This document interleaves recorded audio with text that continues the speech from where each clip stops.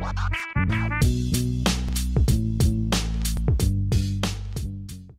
Fala pessoas, tudo bem com vocês? Galera, a promoção do curso foi prolongada. Eu recebi muita mensagem de gente falando: Ah, Guilherme, eu não vou conseguir comprar o seu curso durante a promoção, pois eu só vou receber mês que vem, eu só recebo dia 5, então não vai dar tempo de comprar o curso. Então, por conta disso, eu decidi prolongar a promoção dele pro dia 6 do 8, ou seja, até o dia 6 do mês que vem. Pelo fato de eu ter prolongado a promoção dele, eu tive que limitar algumas vagas, porque se tiver muita gente entrando, eu não consigo dar assistência para cada um. Para descobrir se ainda há vaga para promoção é só vocês acessarem o link do curso e se vocês verem que o curso está ainda no valor de 97 reais, é porque ainda tem vaga. Se tiver ultrapassado esse valor é porque as vagas já acabaram. Então, sério, galera, aproveitem essa promoção, aproveita que ainda há vagas, pois eu não vou colocar mais esse curso em promoção. E é isso aí, agora sim, sem mais enrolação, vamos para a performance da mágica, logo em seguida vamos pro tutorial dela. A mágica de hoje gira em torno de uma única carta que eu coloquei aqui dentro da caixinha, que é uma carta de previsão. Eu vou deixar o tempo todo ali de canto, era pra ser uma previsão surpresa, mas eu acabei falando, tudo bem, não vai fazer muita diferença. E agora você pediria pro espectador selecionar uma carta. Então antes vou misturar um pouco o baralho para que a escolha da carta seja aleatória. E sei lá, digamos que você decidiu folhar o baralho e o espectador mandou parar mais ou menos aqui, certo? Você pediria para que ele memorizasse a carta, não esquecesse e depois você perderia ela novamente no baralho. Não importa onde está a carta aqui no baralho, não importa se ela está embaixo, não sei se está, não importa se ela está em algum lugar aqui no topo, pois o que importa agora na verdade é a carta de previsão. Lembra que eu falei que aqui dentro da caixinha tinha deixado uma carta? Então, prestem atenção. Muito antes de selecionar a carta, eu coloquei uma carta de previsão aqui dentro, que é exatamente o 6 de ouros, que não é a carta selecionada. E como eu sei disso, Tá escrito aqui nela, ó, essa carta não é a sua. Mas preste bastante atenção, se eu pego a carta e eu pressiono ela mais ou menos assim, apertando, pressionando onde tem o não, a frase é alterada. Pois agora o não está no meu dedo e aqui está escrito, esta carta é a sua. E se a frase mudou, a carta também mudou. As de copas, a carta selecionada. Galera, essa mágica é bem fácil e bem tranquila de ser feita. Aqui eu tenho duas cartas de cores diferentes do restante do baralho para ficar em destaque, mas não precisa necessariamente ser assim. Em uma delas está escrito esta carta é a sua e a outra carta está escrito esta carta não é a sua. Mas você tem que escrever de uma maneira que fique semelhante. Então aqui, ó, esta carta eu coloquei exatamente na mesma posição na parte superior da carta. Eu deixei um espaço aqui do não, que é onde eu coloco o dedo para simular que eu arranquei o não. E apareceu aqui no meu dedo e a continuação fica semelhante também, ó. É a sua carta, é a sua carta. Então você vai precisar de duas cartas aleatórias. Eu utilizei duas cartas de cores diferentes do restante do baralho para ficar bem destacado, mas não precisa ser necessariamente assim com basicamente a mesma coisa escrita, só muda o não da frase para alterar e fazer sentido no final. Ah, e você vai escrever não no seu dedo. Se você não conseguir escrever não com a sua mão esquerda, o que você faz é pega a caneta, escreve não na carta e antes da tinta secar você pressiona com o dedo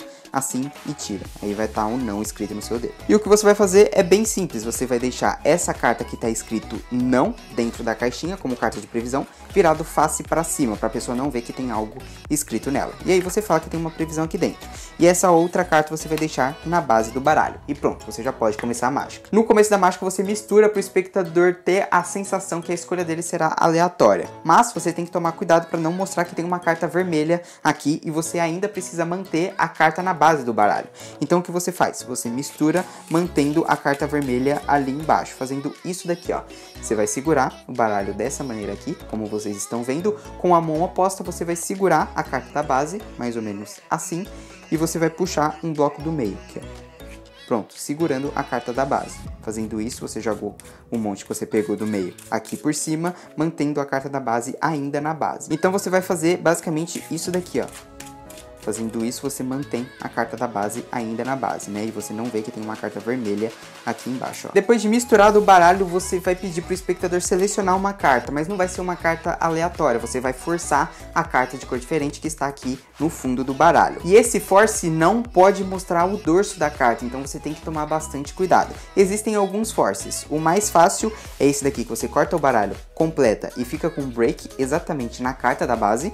Aí você folha mais ou menos assim, quando a pessoa falar para, você vem aqui no seu break, levanta e mostra a carta do fundo. Ao invés de você pedir para ela pegar essa carta, você mostra essa carta aqui e aí você não revela o dorso dela. Então bem simples, a carta está aqui na base, você corta o baralho completa, faz um break na carta, folha ele aqui assim com o dedão. Quando o espectador falar para, toma cuidado para não folhar demais e acabar revelando que tem uma carta vermelha aqui, no caso eu não revelei.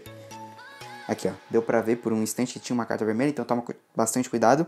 Você folha aqui assim, quando ele falar para, ao invés de você pegar aqui pela frente, onde ele realmente mandou parar, você vai pegar aqui por trás, onde está o seu dedinho, e vai mostrar a carta do fundo. Ou então, se você tiver um domínio melhor com baralho, você pode fazer o Dribble Force, que é um force que você segura o break aqui assim com o dedão, certo? Dessa maneira. E como se você estivesse fazendo um dribble, soltando as cartas aqui assim, em forma de cascata, você manda o espectador falar para, e quando ele falar para, você solta todas as cartas até chegar no break, fazendo algo mais ou menos assim. E aí você mostra a carta do fundo. Só que essa técnica aqui é um pouco mais complicada, seu espectador tem que estar de frente para não ver o seu break, e você precisa ter o controle certinho de soltar as cartas, e quando o espectador falar para, você conseguir soltar todas até chegar no break, para você conseguir mostrar a carta do fundo, sem revelar que ela é uma carta de de cor diferente. Mas enfim, você forçou a carta, você vai devolver ela pro baralho, mas antes de devolver, você faz um break na carta do topo. Então, digamos que você fez esse force aqui. Ela mandou parar, você pegou o break, mostrou para ela, enquanto você está mostrando a carta para ela, pedindo para que ela memorize, você faz um break na carta de cima do outro monte. Você vai devolver essas cartas aqui para cima e vai manter o break. Por quê? Porque agora você vai fazer um double undercut. Esse break aqui você vai transferir para outra mão e vai segurar dessa maneira. E depois você vai passar todo esse bloco de baixo aqui para cima. Mas você não vai passar todas essas cartas de uma vez, você vai passar por blocos, sendo três blocos, mais ou menos assim, ó. Você vem aqui assim, quebra um pouco de cartas e passa para o topo. E aí você faz duas e na terceira vez você pega o break inteiro e passa para cima. E assim fica uma carta aleatória embaixo da carta de cor diferente. Ó, no caso aqui tem um 5 de espadas. E pronto, chegando aqui é só você tirar a carta de previsão dentro da caixinha sem revelar o dorso dela, né? Você fala 6 de ouro. O espectador vai entender que você está falando que a carta dele é o 6 de ouros, ele vai falar que não. E aí você faz a brincadeira falando que essa não é a carta dele. E aí você mostra o que está escrito aqui.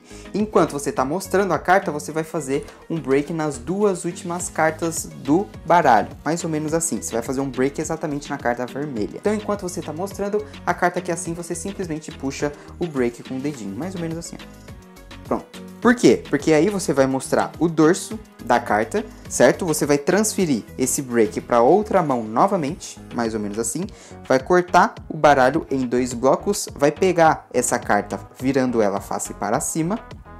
E com a desculpa de torná-la face para baixo, você vai adicionar essas duas cartas em cima dessa. Então você vai fazer isso daqui, ó. O espectador tem a sensação que você está apenas virando a carta, mas na verdade você vai virar a carta e ao mesmo tempo que você vira, você tampa toda a carta com esse bloco aqui de cima e solta esse break em cima dessa. Então, em velocidade é basicamente isso daqui, ó. Dá a sensação que você apenas virou a carta. Eu fiz uma visão exposta aqui de frente, mas se eu fizer de lado, passa batido, ó. Vou fazer de lado aqui para vocês verem. Aqui, ó, a carta estaria virada face para cima. Você vai fazer algo mais ou menos assim viu? Bem simples. E ao mesmo tempo que você faz isso daqui, você vem com o dedão e tampa aqui onde está o não, para a pessoa não ver que o não desapareceu. Aí você vem, puxa apenas essa carta, joga o bloco ali em cima do outro, deixa o baralho de canto, e aí você faz a brincadeira de que você tirou o não, o não apareceu aqui no seu dedo, e aí você fala que não só a frase mudou, como a carta também. E é bem simples, é assim que você realiza essa mágica. Galera, espero que vocês tenham gostado do vídeo de hoje. Se vocês gostaram, não se esqueça de clicar no botão de inscrever-se, ativar o sininho e clicar em gostei para não perder mais nenhum vídeo. Espero que vocês tenham gostado da mágica de hoje e aproveitem as últimas vagas para a promoção do meu novo curso que está sensacional. Tem mais de 200 alunos, tá todo mundo gostando muito, eu tenho certeza que você vai gostar também. E é isso aí, muito obrigado a todos vocês por estarem assistindo o vídeo até aqui e até a próxima.